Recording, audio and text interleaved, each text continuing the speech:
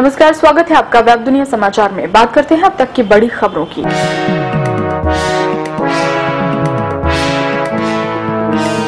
योग से साधेंगे सारी दुनिया। मोदी। प्रधानमंत्री नरेंद्र मोदी ने अंतर्राष्ट्रीय योग दिवस के अवसर पर योग को जीवन शैली का हिस्सा बनाने का आह्वान करते हुए कहा कि योग शारीरिक, आध्यात्मिक और सामाजिक चेतना का माध्यम है, जिसके ज़रिए हम देश, दुनिया सबको साधेंगे। चंडीगढ़ के कैपिटल कॉम्प्लेक्स में मोदी ने दूसरे अंतर्राष्ट्रीय योग दिवस समारोह की शुरुआत की, जहाँ लगभग तीस हज़ार ने उनके साथ योग किया। प्रधानमंत्री मोदी ने कहा कि योग धार्मिक कर्मकांड नहीं है, ये मन को शांति और शरीर को स्वस्थ बनाने का एक विज्ञान है, जो शरीर, मन और बुद्धि को संतुलित कर शरीर को गतिवान और मन को स्थिर बनाता है। ये अनुशासित जीवन जीने का तरीका सिखाता है। उन्होंने कहा कि योग एक ऐसा स्वास्थ्य बीमा है, जो बिना खर्च किए ही आपको निरोग और दीर्घायु प्रदान करता है।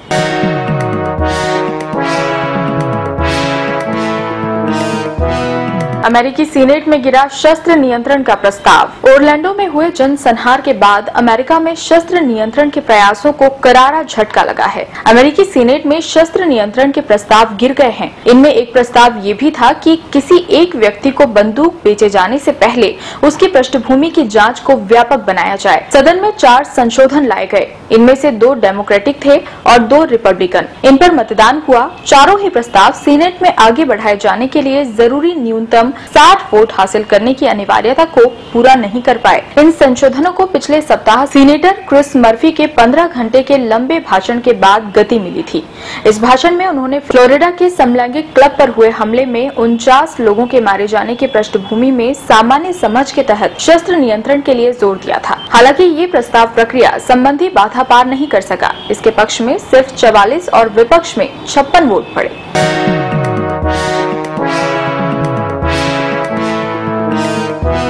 टैंकर घोटाले में केजरीवाल पर मुकदमा। पीएम मोदी पर साधा निशाना। दिल्ली के मुख्यमंत्री अरविंद केजरीवाल ने कथित टैंकर घोटाले के संबंध में प्राथमिकी में अपना नाम शामिल किए जाने को लेकर प्रधानमंत्री नरेंद्र मोदी पर निशाना साधा। केजरीवाल ने एफआईआर का स्वागत करते हुए कहा कि वे खुश हैं कि मोदी ने ये बात स्वीकारी कि उनकी लड़ाई मेरे खिलाफ है। उन्होंने ट्वीट किया कि मोदी जी, आपने रॉबर्ट वाड्रा के खिलाफ प्राथमिकी दर्ज नहीं की, सोनिया के खिलाफ प्राथमिकी दर्ज नहीं की, उस किसी मामले में प्राथमिकी दर्ज नहीं की जिनका ज़िक्र करके आप प्रधानमंत्री बने। उन्होंने कहा कि आपके तहत आने वाली सभी जाँच एजेंसियों, सीबीआई, पुलिस, एसीबी को आपने पीछे छोड़ रखा है। आपने मेरे खिलाफ सीबीआई पर छापा मरवाया। कुछ नहीं मिला।